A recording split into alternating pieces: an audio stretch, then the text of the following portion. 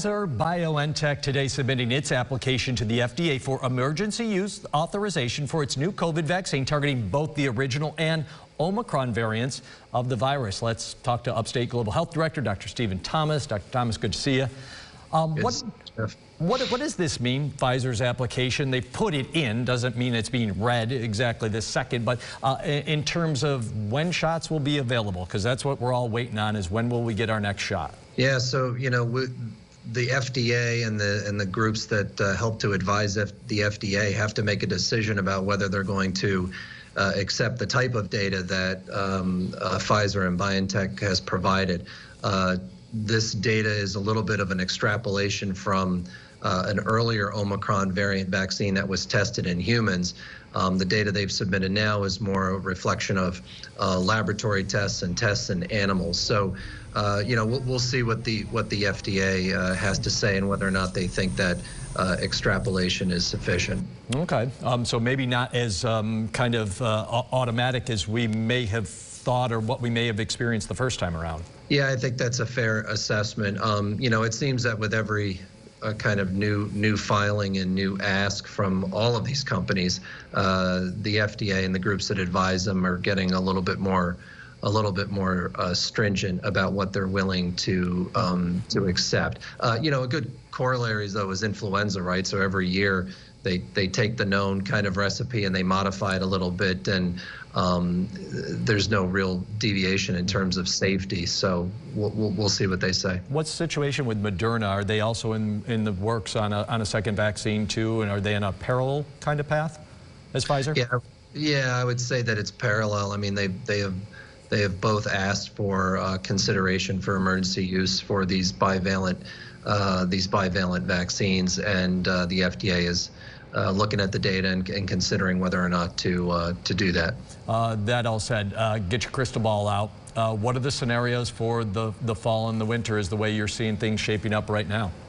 Yeah, I mean, I think if BA4 and 5 remain the predominant variant in in the United States, which it looks like it, you know that that could potentially be the case, and we have uh, um, these bivalent vaccines come out, these Omicron specific vaccine boosters, and uptake is uh, high within the community, then I think we could kind of stay at these levels that we're at uh, at now, which are relatively low levels compared to what we're uh, compared to what we're used to.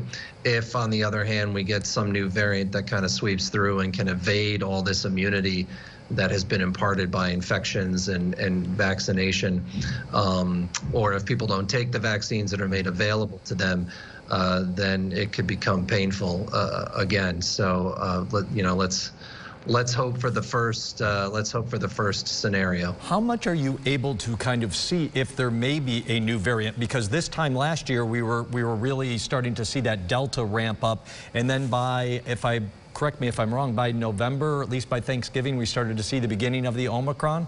Yeah, so, um, and we were, you know, we were the uh, the point of touchdown for uh, the uh, some of the later Omicron sublineages, which was not a pleasant experience for Central New York. But um, yeah, you know they've gotten a little bit better uh, at sequencing um, more of these viruses. Sequencing is, you know, basically the genetic fingerprint of these particular of, of the viruses that are infecting people at the time, um, and they've gotten a little bit better and faster at figuring out is this the same, is this different, how's it different, what do we think mm. the difference uh, the difference means. Um, there are viruses mutate. That's what they do. Most of them don't end up uh, having any staying power. Um, and uh, you know, but we'll we'll see. There are other variants that are out there that uh, you know World Health Organization and others are keeping an eye on. But right now, it looks like BA4 and 5 are very well well entrenched in the U.S. How worried are you? Just slight change of gears. How worried are you about the flu this year? Yeah, it's going to be it's going to be worse than it has the last couple of years, primarily because uh, people are taking off their masks and people are are gathering. So I, I have no doubt that the flu is going to um, uh, come back. And we still have, I mean, even now in the middle of the summer, we're still having a couple of influenza cases a week, at least the hospital um, that I'm at. So, um, yeah, I expect that we're going to probably get back to your normal rates of flu, which you know, puts about 750,000 people in the hospital every year and kills up to 30,000 people.